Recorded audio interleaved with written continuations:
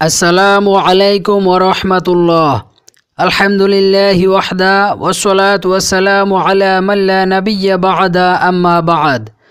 সম্মানিত দিনী ভাই বোনেরা, আমাদের আজকের আলোচনার বিষয় হচ্ছে মাস্ক পরিধান করে নামাজ পড়ার হুকুম সম্পর্কে।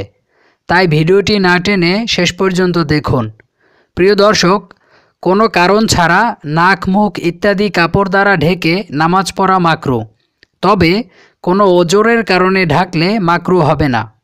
সেই হিসেবে বৈশ্বিক মহামারী করোনা ভাইরাস থেকে প্রতিরক্ষার পদ্ধতি হিসেবে কেউ যদি মাস্ক পরিধান করে নামাজ পড়ে, তাহলে মাকরু হবে না।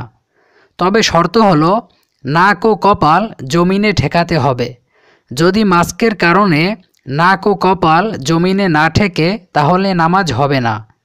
হজরত আবু হরারা রদিয়াল্লাহ তালা আনহু থেকে বর্ণিত, তিনি বলেন রসুল্লাহ সাল্লাহ আলাইসাল্লাম যে কোনো ব্যক্তিকে সালাতরত অবস্থায় তার মুখমণ্ডল ঢাকতে নিষেধ করেছেন। সুনানে ইবনে মাজা, হাদিস নং নয়শো ছেষট্টি। সুনানে আবু দাউদ, হাদিস নং ছয়শো তেতাল্লিশ। হজরত আনাস ইবনে মালিক রদিউল্লাহ তাল আনহু থেকে বর্ণিত, তিনি বলেন, প্রচণ্ড গরমের মধ্যে আমরা আল্লাহর রসুল সাল্লাহ আলিয়াসাল্লামের সঙ্গে সালাত আদায় করতাম। আমাদের কেউ মাটিতে তার চেহারা বা কপাল স্থির রাখতে সক্ষম না হলে সে তার কাপড় বিছিয়ে তার উপর সেজদা করত। সহি বুখারি, হাদিস নং বারোশো আট।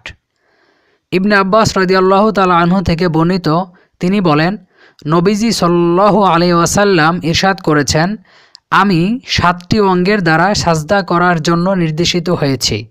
কপাল দ্বারা এবং তিনি হাত দিয়ে নাকের প্রতি ইশারা করে এর অন্তর্ভুক্ত করেন, আর দু হাত, দু হাঁটু এবং দু পায়ের আঙ্গুলসমূহ দ্বারা।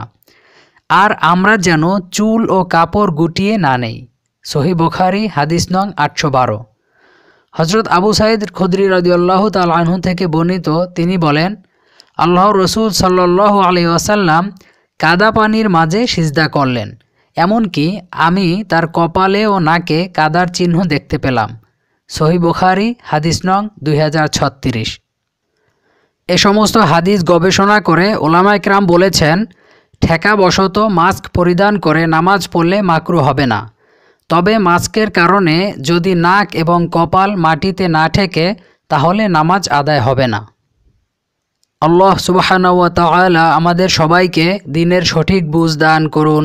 আমিন। ওমা আলাইনা ইল্লাল বালাগ।